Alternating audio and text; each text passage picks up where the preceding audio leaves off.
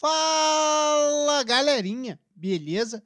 Eu sou Marcelo Bolinha e estou resolvendo a prova de física do vestibular 2019 para o primeiro semestre da Universidade Estadual do Ceará. Eu vou fazer agora a questão 45 da prova da primeira fase.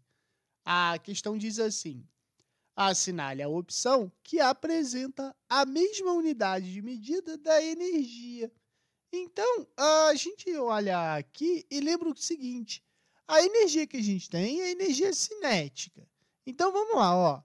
Energia cinética é massa vezes velocidade ao quadrado divididos por 2, né?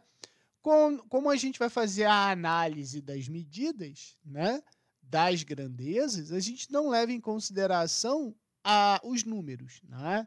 Então, na verdade, a gente vai ter o quê? Um meio, né, de m vezes v ao quadrado.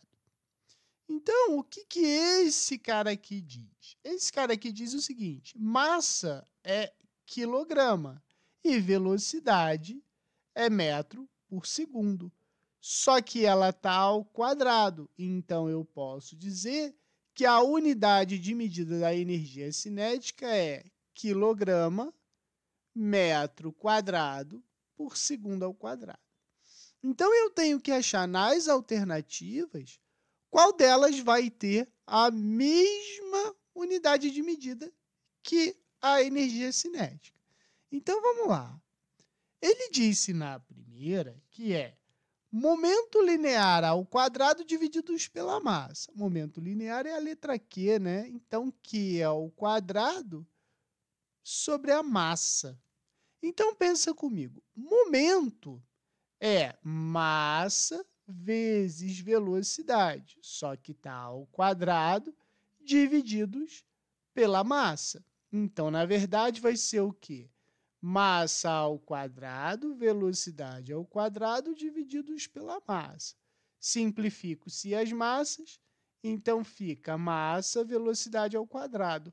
Ou seja, massa é quilograma. E aqui é o que? Metro por segundo. Como eles estão ao quadrado, não é? Então, a gente chega à conclusão de que essa unidade é igual àquela ali. Então, a resposta é a letra A. Mas a gente vai fazer as outras como forma de exercícios. Olha só. Momento linear sobre a massa.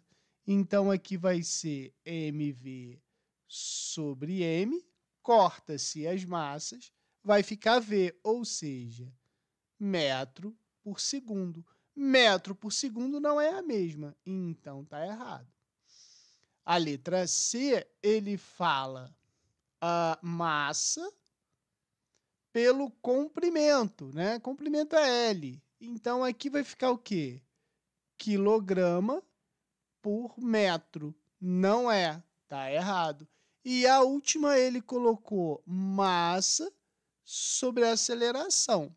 A gente sabe que massa é o que? Quilograma. A aceleração é metros por segundo ao quadrado. Então fica assim, repete a primeira, troca o sinal, né? Aí vai ficar o inverso da segunda, que é S ao quadrado sobre M então também não é a mesma medida. Então a resposta é a letra A, beleza? Qualquer dúvida, deixe nos comentários que eu te respondo.